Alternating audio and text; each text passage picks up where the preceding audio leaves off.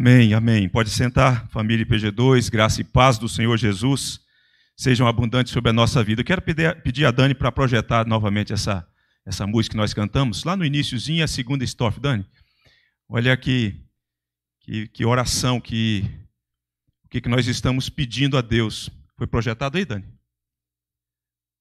Ah, tem um trechinho nessa, nessa música que nós cantamos, que me faz lembrar, inclusive, quando o Luciano orava, a Deus, ah, orando e lembrando das orações do apóstolo Paulo, e há um trechinho da carta do apóstolo Paulo em Efésios, no capítulo 3, que diz assim: Para que sejamos tomados de toda a plenitude de Deus. Para que sejamos tomados de toda a plenitude de Deus. Então veja o que está aí, é mais ou menos isso, como que parafraseando. Enche-me até que em mim se ache só a ti. Se ache só a ti. Não sei você, quando você. Sempre que, que essa música é cantada na igreja, que eu chego nesse trechinho aí, eu falo: Meu Deus, seja propício a mim. Que eu seja esvaziado de mim mesmo, do meu ego, do meu egoísmo, e o Senhor domine sobre mim encha todos os espaços da minha vida, o Senhor governe plenamente, totalmente, absolutamente a minha vida. Então é isso que a gente está pedindo. A gente precisa cantar as nossas as canções de louvor e adoração ao Senhor nosso Deus e prestando atenção também nessas verdades doutrinárias, teológicas. E quando cantar isso, desejar isso, não apenas ir no embalo do ritmo da música, mas desejar isso, falar: é isso que eu quero, é isso que eu preciso, é isso que eu desejo. Meu coração tem sede dessa, dessa verdade estupenda. Enche-me até que em mim se ache só a ti para que sejamos tomados de toda a plenitude de Deus. Paulo orou sobre isso. E eu quero encorajar você, mais uma vez, a fechar os olhos e a orar, a suplicar a Deus, desejando essas verdades de quem Deus é, da bondade de Deus, da plenitude de Deus, do Espírito de Deus. Bendito Deus. É muito bom estar aqui, Senhor, neste lugar, na companhia dos santos. É muito bom estar na tua presença. O Senhor está aqui neste lugar. Nós bem o sabemos. Nós comparecemos aqui para te adorar, para tributar a glória devida ao teu nome, Senhor. E Deus, nós te pedimos em o nome do Senhor Jesus, glorifica o teu filho aqui nessa noite. Glorifica, ó Deus, aquele que desceu, aquele que veio até nós, aquele que se encarnou, que se fez um de nós e se entregou por nós que morreu nossa morte, que levou os nossos pecados na cruz. Glorifica o teu Filho que está exaltado à direita do Senhor nosso Deus. Que o Espírito Santo do Senhor nosso Deus possa sondar o coração de cada um de nós e inclinar o nosso coração para ti e levar a nossa mente cativa ao senhorio de Jesus. Fale conosco nessa noite. Fale conosco nessa noite, em um nome glorioso e poderoso do nosso amado Salvador Jesus Cristo. Amém. Amém. Abra sua Bíblia no livro dos Salmos, no Salmo de número 126, versículo de número 4. Salmo de número 126, versículo de número 4. Tema da nossa mensagem nessa noite é desejo por restauração. Desejo por restauração. Esse salmo de romagem, nós fizemos a exposição destes salmos, os salmos de romagem, o ano passado. Começamos lá no Salmo 120 e caminhamos até o último salmo, salmo de romagem. E hoje eu quero ficar nesse verso, no verso de número 4. Quero compartilhar com vocês algumas verdades sobre o desejo por restauração. Eu vou ler e depois vou dar a oportunidade de você ler em silêncio, introjetando, deixando a palavra entrar no seu coração, você e o texto. E pela graça de Deus, depois nós vamos lê-lo todos nós. Diz assim o texto: Restaura, Senhor, a nossa sorte como as torrentes no Negueb. Agora passa os olhos no texto você. Ouse fazer essa oração da Escritura, palavra de Deus. Uma vez que você fez, acredito eu, vamos nós juntos, com força, ler o texto. Restaura, Senhor, a nossa sorte como as torrentes no Negueb. Louvado seja Deus. desejo por restauração. Irmãos e minhas irmãs, nesse tempo de pandemia, eu tenho visto muita gente experimentando um despertamento espiritual. Eu tenho constatado que muitas pessoas, a pandemia foi uma grande bênção para que elas experimentassem e estivessem experimentando continuamente um despertamento espiritual. Eu visitei, por exemplo, uma das nossas famílias, da família PG2, e ao chegar lá, a mulher me disse que ficou surpreendida, ficou surpresa e maravilhada quando o vizinho, em razão de tudo que está acontecendo, convidou o marido dela para que ele fosse na casa da vizinha, ler a Bíblia e orar. Não é uma família de cristãos, mas sabendo que essa família da IPG2 era uma família de cristãos, convidou essa família para ler a Escritura e orar com essa família. E ela disse que quando o marido pegou as Escrituras e abriu a Escritura e começou a ler, e ministrar a palavra de Deus, e explanar a, a, a palavra de Deus, ela ficou maravilhada. E ela falou: Gente, eu nunca tinha visto o meu marido, eu não sabia que meu marido tinha tanto conhecimento das Escrituras. E ele então disse: O que, que aconteceu? Que na pandemia ele leu mais as Escrituras. Ele buscou mais conhecer a Deus. E ele começou a compreender mais a palavra de Deus e a deleitar-se na palavra de Deus e a se encher com a palavra de Deus. E é óbvio que quanto mais cheio você estiver da palavra de Deus, isso será notável.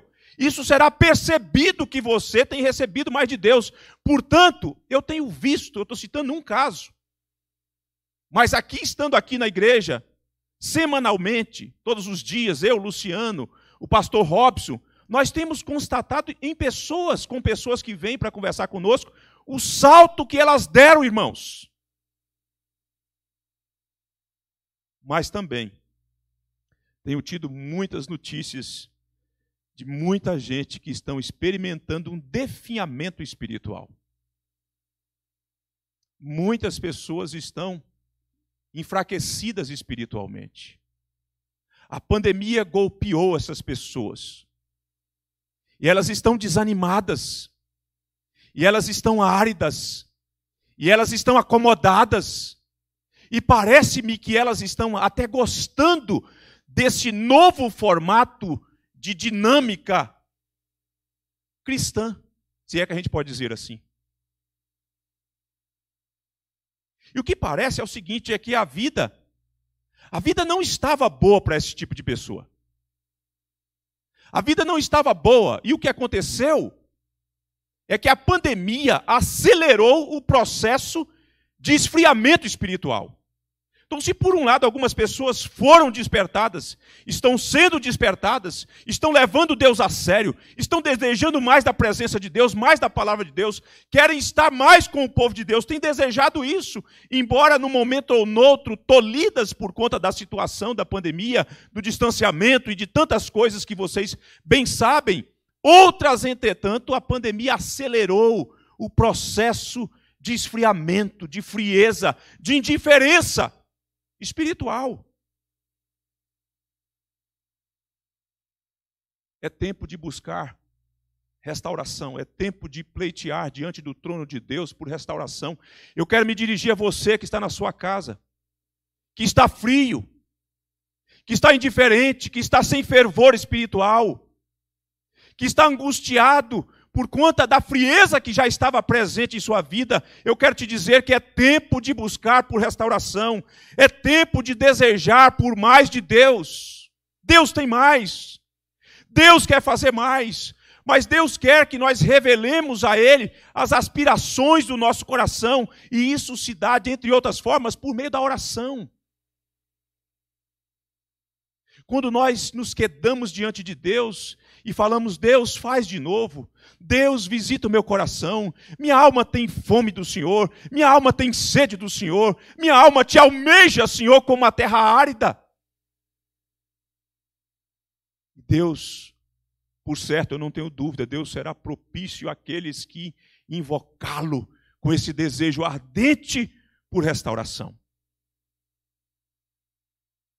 Agora, uma coisa que nós precisamos entender é que o desejo por restauração ele passa pela constatação de uma necessidade.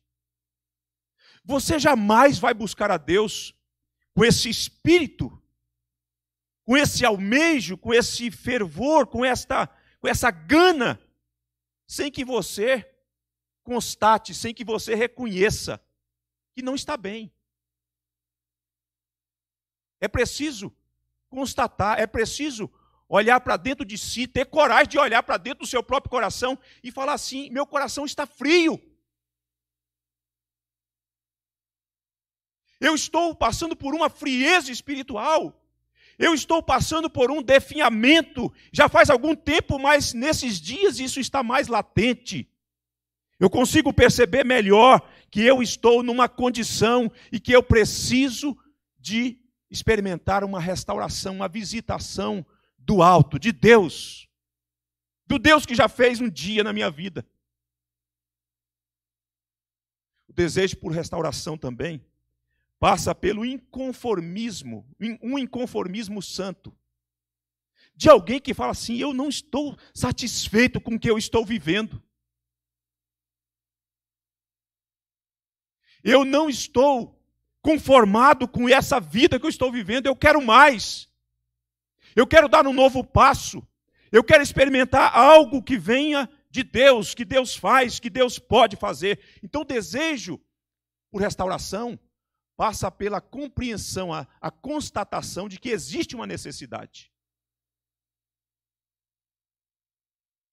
Passa também pelo inconformismo santo, essa, esse desejo santo de, de, de, querer mais de Deus, de desejar a, a, a a visitação de Deus, uma intervenção de Deus, um agir de Deus dentro do coração, mudando, alterando as nossas disposições para disposições santas e nobres, em que nós queremos experimentar mais do Senhor nosso Deus.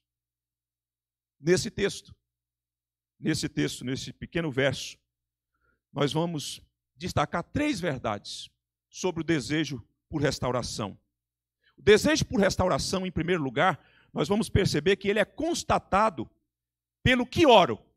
Essa é a primeira verdade que nós vamos ver. O desejo por restauração, ele é constatado pelo que oro.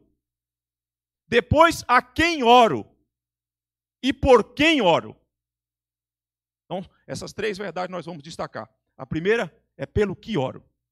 Veja só, esse salmo de romagem é um salmo pós-cativeiro.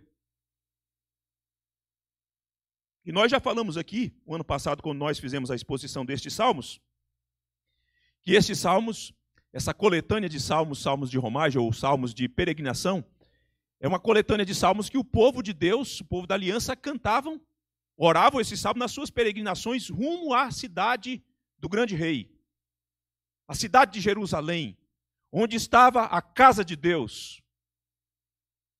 E eles iam cantando isso. Ora, com esse ritmo de canção e ora se misturando a canção com a oração, com a aspiração por esse desejo. Ora destacando pela canção o que Deus havia feito e ora dando que como que uma pausa na mesma canção, fazendo a oração. É assim que este salmo é composto quando o Senhor restaurou a sorte de Sião, ficamos como quem sonha. Então a nossa boca se encheu de riso e a nossa língua de júbilo. Então entre as nações se dizia: grandes coisas fez o Senhor por eles. E com efeito o povo respondia: com efeito, grandes coisas fez o Senhor por nós, por isso estamos alegres. Na canção há um rememorar do que Deus fez de uma restauração experimentada, de um efeito que ficou latente na alma do povo como resultado da, da, restauração. Ficamos como quem sonha, diz aí o texto. Nossa boca se encheu de riso, nossa língua de júbilo. As nações reconheciam que Deus tinha feito algo extraordinário para o seu povo. As nações, irmãos, os pagãos, aqueles que não temiam a Deus, vendo o povo de Deus e vendo aquilo que o povo de Deus estava experimentando, as nações diziam, como que num coro, com efeito, grandes coisas fez o Senhor por eles. E de repente o povo, além de estar experimentando os efeitos disso na alma de modo latente, estão ali presente, presentes esses efeitos e ouvindo o testemunho das nações, o povo também atesta com efeito: grandes coisas fez o Senhor por nós. Por isso estamos alegres. Mas de repente tem uma pausa. E agora não é hora mais de falar, de cantar sobre o que aconteceu conosco, mas é, olha, é hora de olhar para dentro de nós e constatar que em nós, no presente momento, as coisas já não são mais como eram. Que a real situação do presente não se compara mais àquilo que foi experimentado, aquilo que foi, que foi vivenciado. Então, esse povo que canta esse salmo pós-cativeiro experimentou por restauração. Mas tinha pessoas que ficaram na Babilônia. Calvino chega a dizer que elas ficaram na Babilônia porque elas tinham medo de encarar as rodagens. Algumas delas. Algumas delas ficaram por comodismo, elas tinham construído a sua vida materialmente na Babilônia e elas não queriam, não queriam voltar a fazer esse regresso. E então o povo da aliança ora para que haja restauração também dessas pessoas. Que por medo, que por comodismo, por achar aquela situação confortável, melhor ficar aqui mesmo, aqui Deus nos deu casa, aqui nós temos pomares, então vamos ficar aqui. Só que o povo de Deus que experimenta essas intervenções de Deus não se acomoda, não se apega a essa realidade momentânea, circunstancial, não. Porque a, a, a maior herança do povo de Deus é o próprio Deus. Então esse povo, ele faz isso. Ele ora por restauração agora.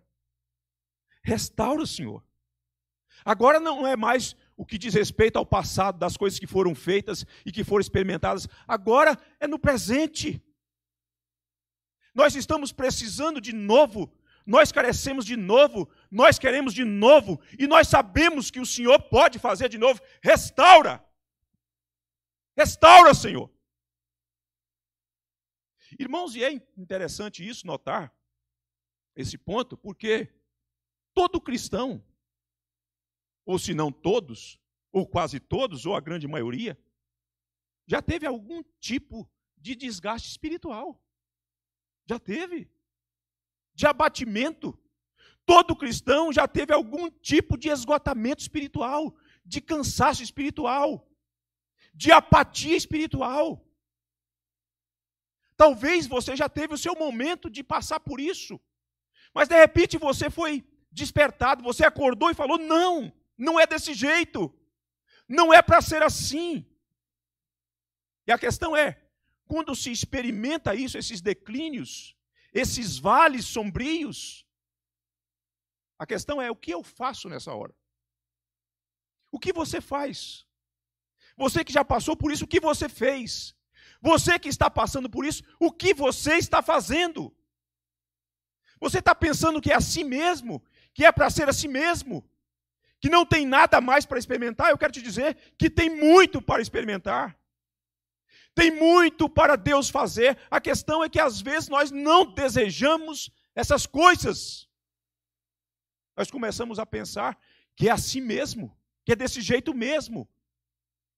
Enquanto que a palavra de Deus vem em alto e bom som, pelo testemunho dos nossos irmãos, pela oração dos nossos irmãos, pelas canções que ficaram como palavra de Deus para dizer: não, não se acomode, não aceite essa condição, busque a Deus, percorra o caminho da oração e clame ao Senhor de novo: restaura, Senhor, restaura, Senhor. O que é maravilhoso, o que é maravilhoso, isso é maravilhoso, né? É que quem ora no presente para experimentar novas restaurações e intervenções, esse revigoramento espiritual da vida, do coração, tem o passado como referencial. Veja só, uma coisa é você não ficar aprisionado no passado, fazer do passado uma gaiola. e ficar numa espécie de saudosismo doentio, dizendo: ah, aquele tempo, ah, aquele tempo, aquele tempo era tão bom. Isso é um perigo. Quem vive desse jeito assim, parece que não consegue romper com essas amarras para dar um salto e trilhar um novo caminho no futuro. Tem muita gente que vive do saudosismo. Ah, aquele tempo a igreja, hein? Ah, aqueles hinos que nós cantávamos, que saudade. Não.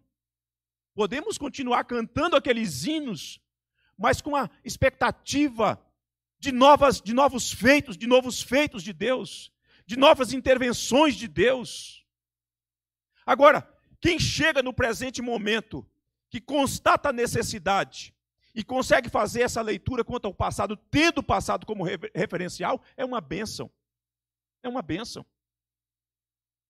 Sabe por quê?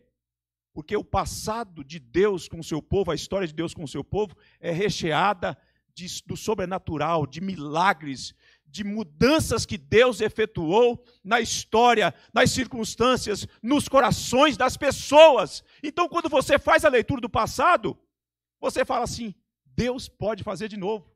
E se Deus pode fazer de novo, eu boto a minha boca no pó e imploro o Senhor, restaura, Senhor, a nossa sorte.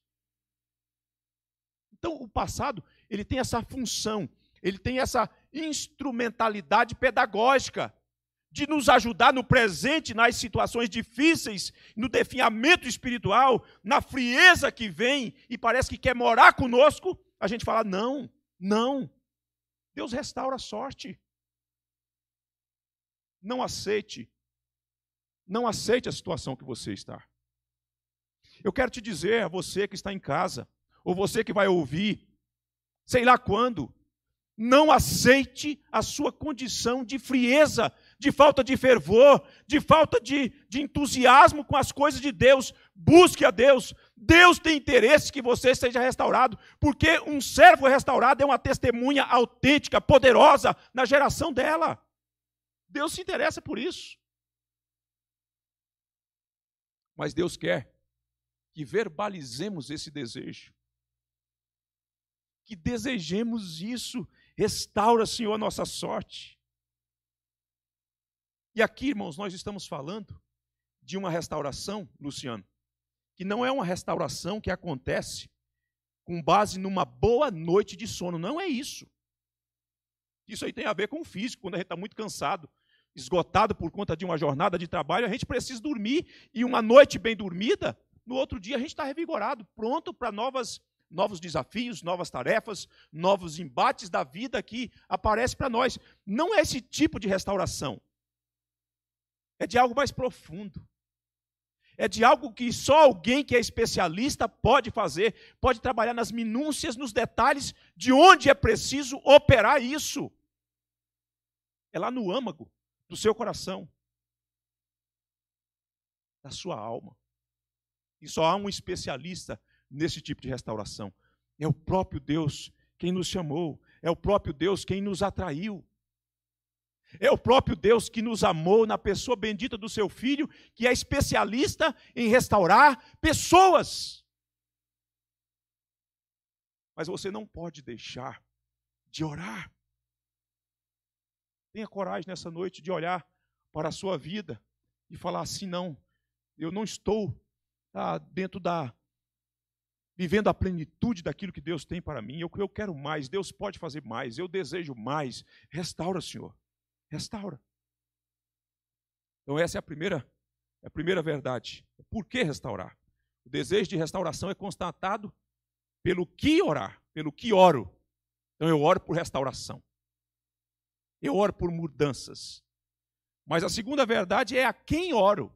A quem oro. Diz aí o texto: restaura, Senhor.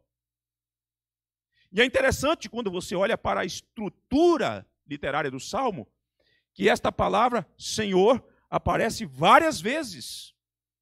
Várias vezes. Até aqui no texto onde nós lemos, pelo menos quatro vezes. E aqui, é importante entender isso, que aqui é o nome pactual de Deus, o Iavé. O Deus que decidiu entrar numa aliança com o povo um povo fraco, um povo pecador, um povo que foi amado não por conta das suas virtudes, não por conta dos seus méritos, não por conta das suas obras, não porque tinha alguma coisa que pudesse atrair a Deus. Não, Deus decidiu volitivamente, soberanamente, graciosamente amar esse povo e entrar numa relação de aliança com esse povo. Então, quando este homem está orando, quando os nossos irmãos estavam orando, eles estavam pensando nessa verdade de quem Deus é e de quem nós somos para Deus nessa relação. É o mesmo conceito, a mesma verdade que aparece no Salmo 23, quando o salmista diz: O Senhor é o meu pastor e nada me faltará. O Senhor é o meu pastor lá, é o Deus pactual. E se Ele é o meu pastor, logo eu sou ovelha de Deus. Ele tem interesse em cuidar de mim. E na verdade é Ele quem cuida de mim.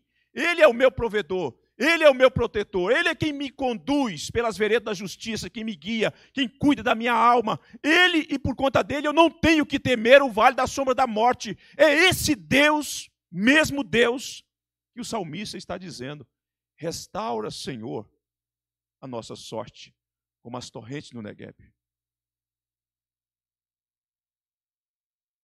É interessante porque essa ideia incluída essa verdade, melhor dizendo, é contida no próprio nome de Deus, em que ele se deu a conhecer como esse Deus pactual, esse Deus da aliança, a gente vai perceber o movimento desse Deus nessa relação pactual, esse movimento atemporal.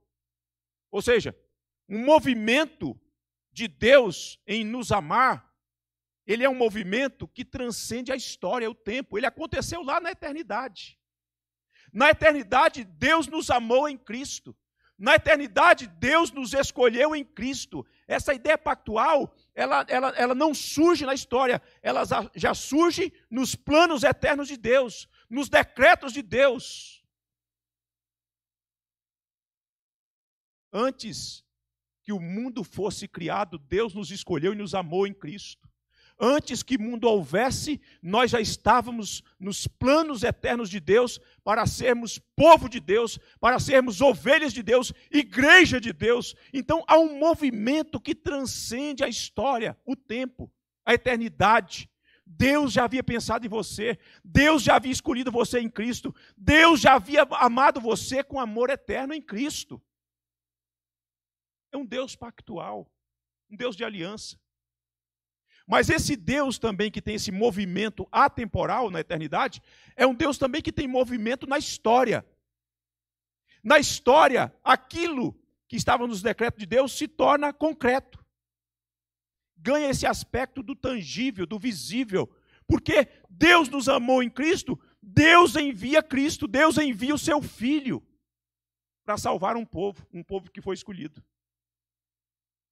Deus entregou o seu próprio filho na cruz do Calvário para levar os pecados daqueles que foram amados antes da fundação do mundo. Então esse Deus, ele atuou na eternidade, mas ele atua na história. O Filho de Deus se encarna, o Filho de Deus se fez um de nós, e ele veio, se tornou servo, e foi obediente, e obediente até a morte e morte de cruz para conquistar a nossa salvação. É o movimento de Deus no nosso tempo, na nossa história, na nossa existência, para nos alcançar e firmar aquela aliança eterna na história conosco. Aliança esta que é firmada por meio do derramamento do sangue de Jesus.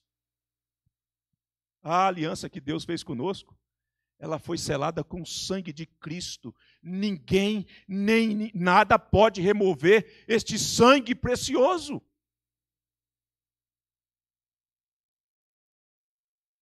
Se por um lado nós precisamos definir por que oro, pelo que oro, por outro lado, é mais importante do que orar é saber a quem eu oro. Estão entendendo? Existe a nobreza, existe a, a, legitimidade de orar por esses motivos, por restauração. Mas mais do que a nobreza do pedido, é a sublimidade a quem eu oro, é a quem ou diante de quem eu coloco a minha petição. Portanto, é muito importante entender isso. O desejo por restauração é constatado pelo que oro. Em segundo lugar, é constatado a quem oro. E em terceiro lugar, é constatado por quem oro. Por quem eu oro? Por restauração.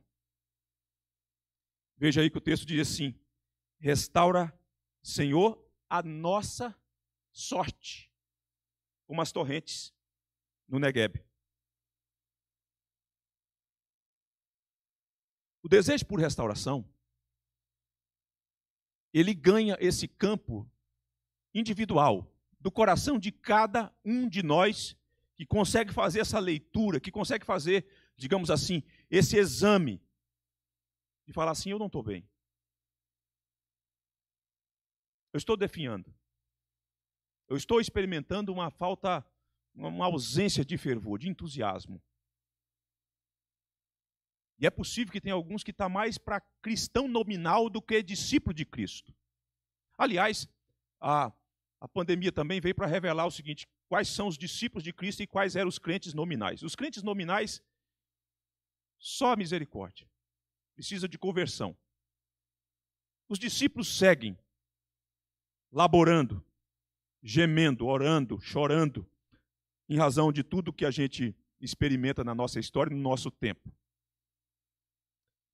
Mas o que nós precisamos entender é que, se por um lado tem esse aspecto do desejo individual, por outro lado tem o aspecto do desejo coletivo, de não desejar a restauração só para mim, mas de ver essas coisas acontecendo sobre todo o arraial.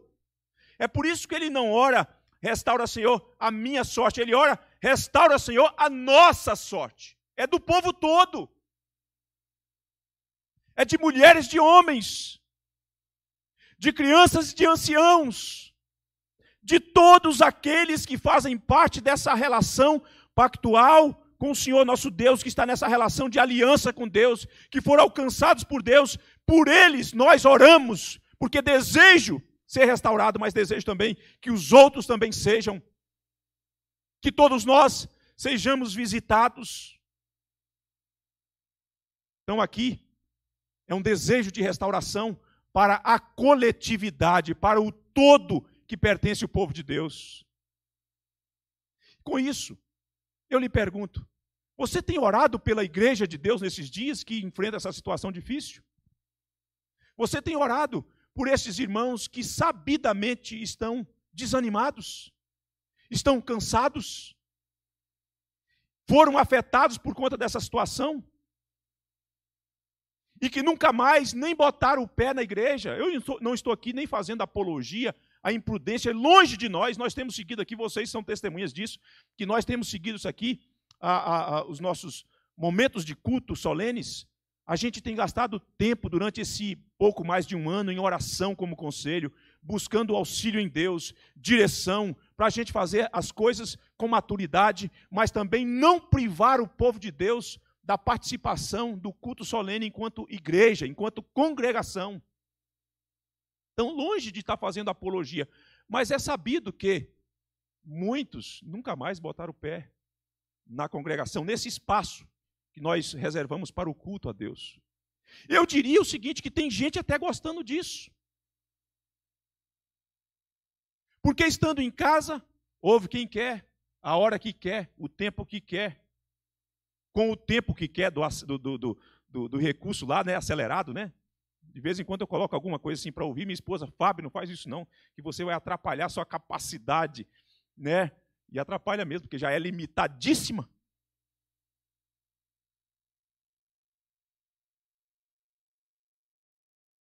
Irmãos, nós precisamos orar por restauração da igreja evangélica brasileira.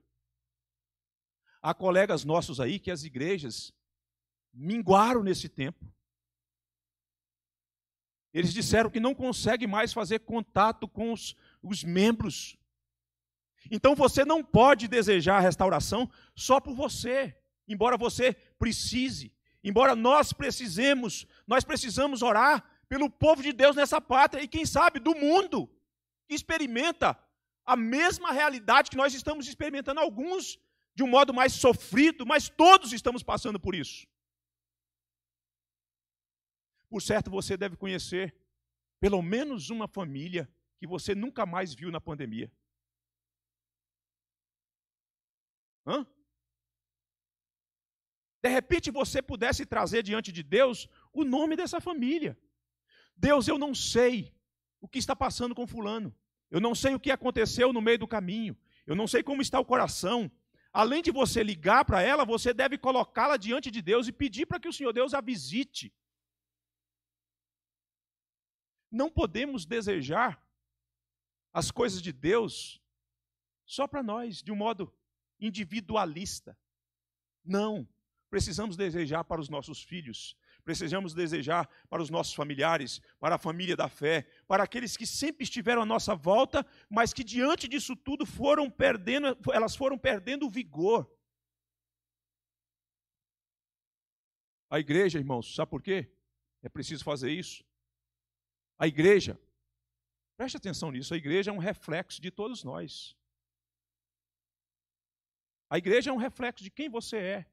A igreja é um reflexo de quem eu sou. A igreja é um reflexo de todos nós. Você sabe aquele dia que você chega no culto solene e os irmãos estão nos conduzindo nesse momento do, do, do, do louvor, do cântico, parte da nossa adoração, porque a nossa adoração ela é plena. A palavra de Deus, a leitura da palavra de Deus é parte da adoração. A parte da adoração não é só o momento que você canta, não. É a liturgia inteira. Nós estamos em momento de serviço a Deus, de culto a Deus. Mas eu, ah, voltando então ao ponto. Você sabe aquele dia que você chega e você fala assim: ai, mas hoje. Não, é não, não é o outro, não, é você, é o seu coração. É um reflexo do seu coração. Aquele dia que você acha que o negócio está pesado, não é que está pesado por conta do outro, está pesado por conta de um pouco daquilo que você é.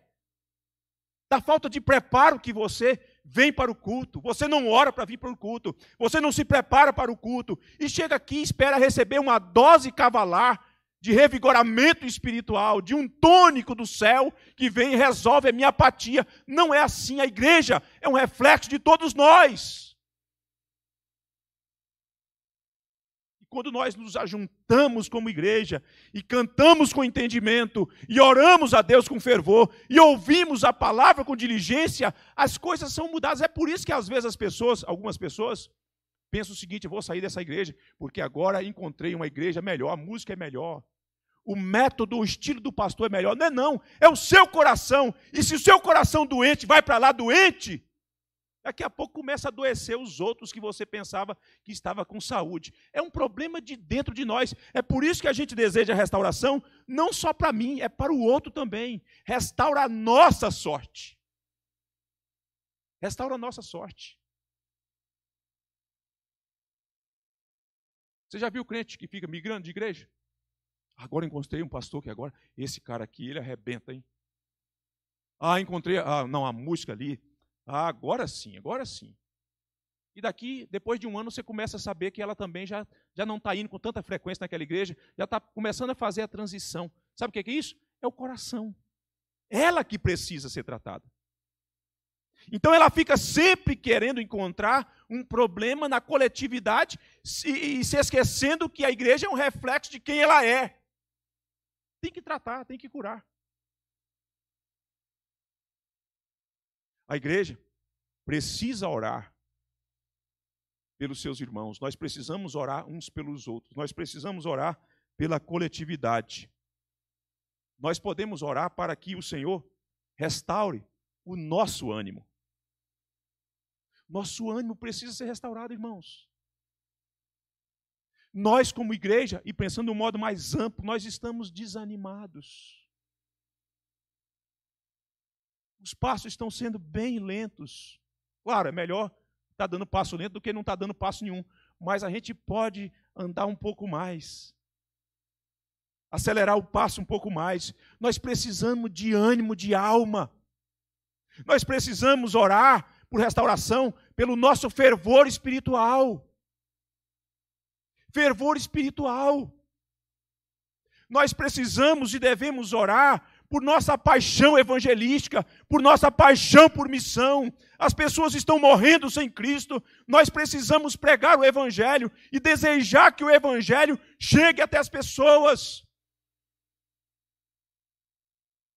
quando você não deseja isso, quando você não tem aspirações pela expansão do reino, pelo crescimento da igreja, quando você se acostuma e acha que é assim mesmo, isso é sinal de que nós precisamos de restauração.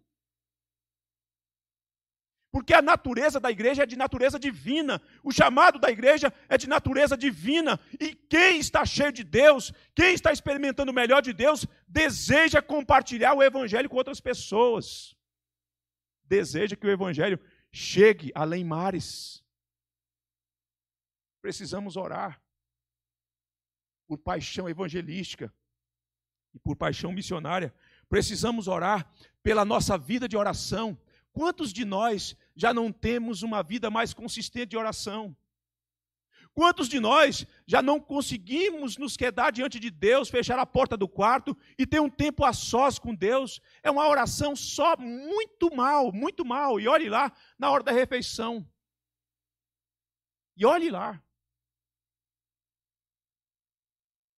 Quantos de nós já não tem mais deleite na oração na presença de Deus, de falar quão bom é estar na presença de Deus, e falar com Deus, e buscar a Deus, e ficar, ficar ali aos pés do Senhor em oração, ora em súplica, e ora em contemplação da majestade de Deus, da glória de Deus, da beleza de Deus, do evangelho sublime de Deus. Quantos de nós já não temos mais vida de oração, meus irmãos?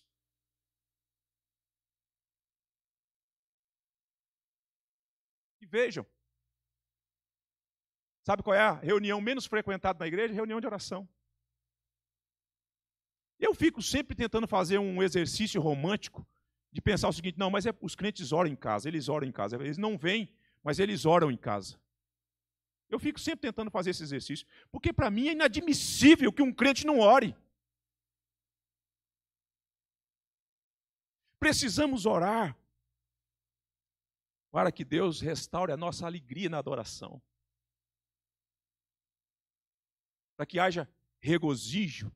Irmãos, alegria na adoração não é sinônimo de irreverência, não é sinônimo de coisas esdrúxulas. Coisas esdrúxulas é, é movimentos, baderna, desordem. Adoração é contagiante. Porque não tem como não se alegrar, não se emocionar diante de um Deus santo, glorioso, que nos amou na pessoa do seu Filho bendito, quando a gente canta essas verdades, quando nós ouvimos a verdade do Evangelho, isso tende a mexer com o nosso coração. Restauração pela adoração. Precisamos de esse vigoramento. E eu caminho para concluir.